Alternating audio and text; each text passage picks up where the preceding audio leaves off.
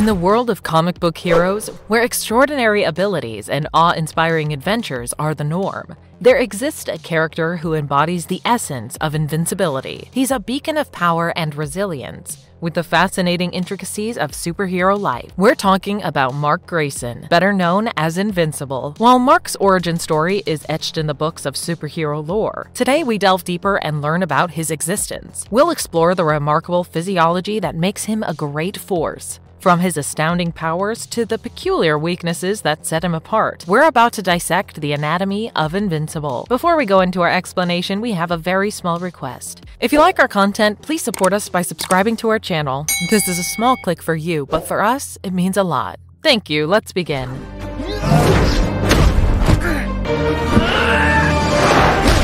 Who is Invincible? Is he a human or a Viltrumite? Invincible, aka Mark Grayson, a blend of earthly genetics and extraterrestrial might. Mark's dad, Nolan Grayson, is the real dad, a Viltrumite, part of a powerful alien race. On the other side, we've got his mom, an ordinary human. Now, when Mark was just a kiddo of seven, his dad spilled the beans. He revealed their intergalactic roots, how Viltrumites were like peaceful supermen, and how one day Mark would sprout some superpowers too, which led to Mark eagerly waiting every day for his superhero powers. Later in his high school senior year, while Mark was working at a part time gig, it finally happened. He sends a trash bag soaring through the sky. And the next thing we know, it is time for a superhero outfit. And of course, a cool name. Dad's pal Art fixed the first problem in a jiffy. He quickly made up a superhero outfit. And as far as the name was concerned, Mark got that covered too. After an incident at his school, you know, the ones that make you visit the principal's office. Well, thanks to the principal's remark, he named himself Invincible. Mark is the ultimate Viltrumite human mashup. He has got the best of both worlds. Humans and Viltrumites share enough biology for Mark to tap into that potent Viltrumite potential. That Viltrumite heritage coursing through him makes him a great power. Does he have the ability of interstellar travel? Now, interstellar travel is like the pass to travel anywhere in space. It's the ability to zoom through space, venturing where no regular human could survive without a spacesuit or some nifty tech. Our main man, Invincible, wasn't just a mere mortal. He's got this Viltrumite lineage that lets him party hard in the cosmos without any need for a fancy gadget. He can survive, move, fly, and kick in outer space without breaking a sweat. He can be on every asteroid, moon, and planet he wishes. Mark Grayson's lung capacity. Can he breathe in outer space? Now, we all know how important breathing is. It is that thing that keeps us alive and running. But for Mark, it's not as simple as for us humans. Inhale and exhale and you're done. Nope. It's a little different for him, obviously, because he's a superhero. A superhero with a breathing superpower. Thanks to this Viltrumite lineage, his endurance is way above average. He's tough enough to take hits from the ever powerful Thrag. Ever seen someone survive disembowelment? Well, Mark has survived that. Can he breathe in space, which technically is a no breathing zone? No, he cannot. But he can survive in space without breathing, due to his huge lung capacity that helps him hold his breath for a long, long time. You think it's tough holding your breath in the pool? Mark can hold his for weeks.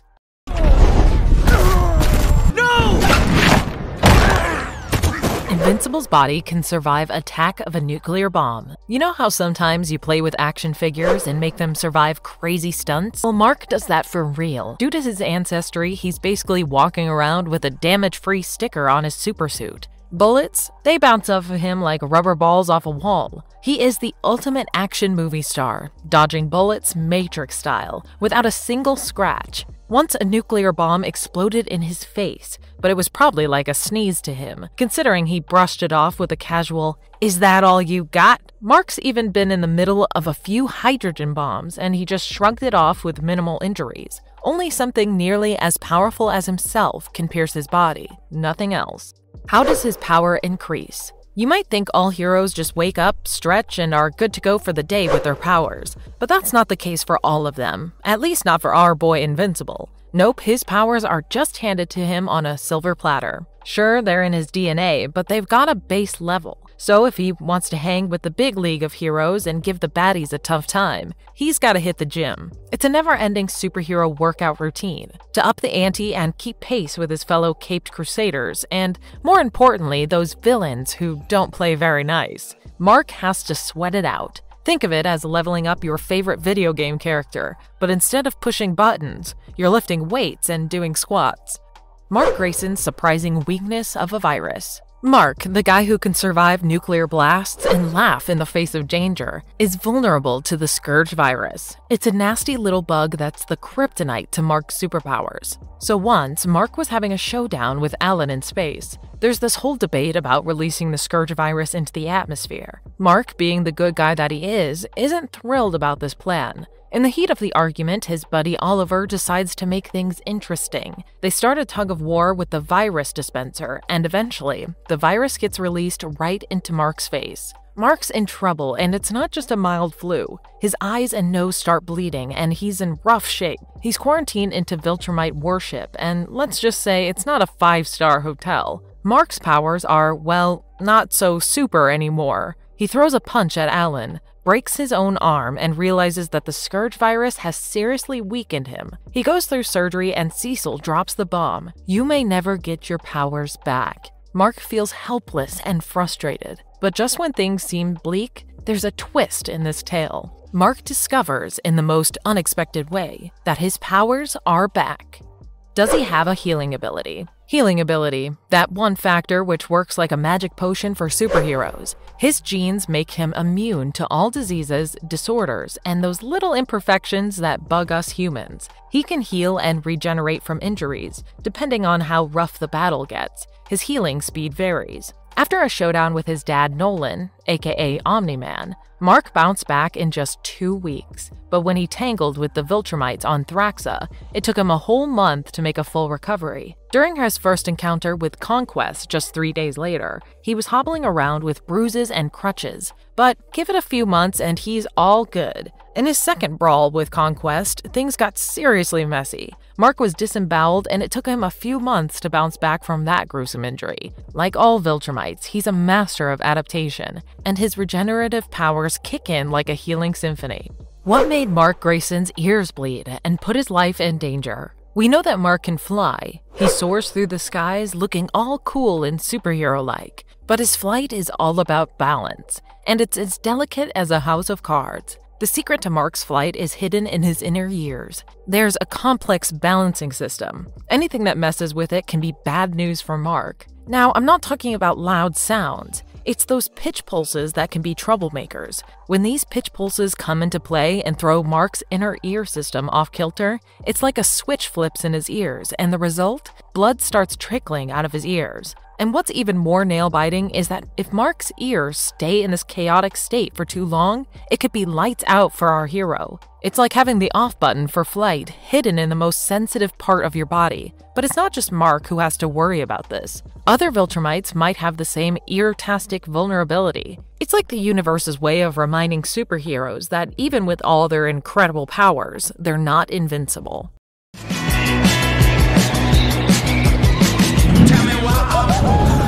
The fastest man alive? When it comes to speed, this guy isn't just quick, he's superhero fast. Mark can move faster than a speeding bullet, literally.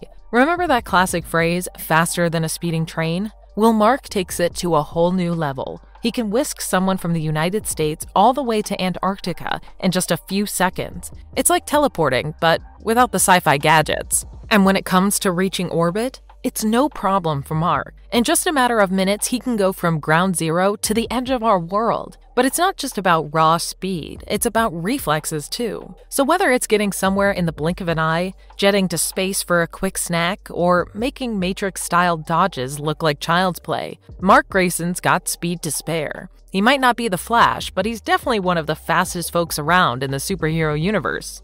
Which comic book is his favorite? Above everything else, there is a much relatable side of Mark Grayson his love for comic books. Mark's not just any casual reader, he's a bona fide comic book fanboy. It's like he's one of us, living the dream. He'd swing by his local comic book shop, have chats with the owner, and even geek out in line for signed editions. His favorite comic book character? That's Science Dog, a clever, gadget loving canine who knows how to save the day.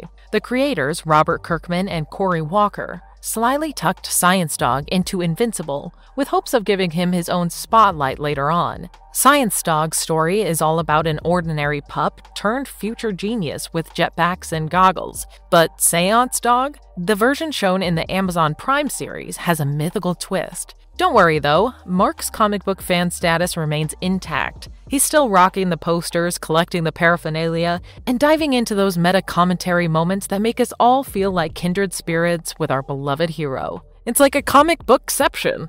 Does he have any love interest? And can he reproduce? When it comes to Mark Grayson's love life, there's a special someone who's captured his heart. Atom Eve. Samantha Wilkins, the woman behind the Atom Eve mask, is not just any hero. She's got powers that can rearrange matter at the molecular level. I'm talking light constructs, transmutation wizardry, flight, and instant regeneration. She's a powerhouse. Now, let's rewind a bit. Mark and Eve, they go way back. High school friends, the whole deal. But you know what they say sometimes the best relationships start with a friendship. There was always this magnetic romantic pull between them, like they were two sides of the same superpowered coin. It was inevitable, and eventually they became more than just crime fighting partners. They took the plunge, got married, in some order, and of course added a little one to their superhero family. They have a daughter, Terra Grayson. Terra's got some serious transmutation powers, thanks to her mom, and she's a bundle of joy,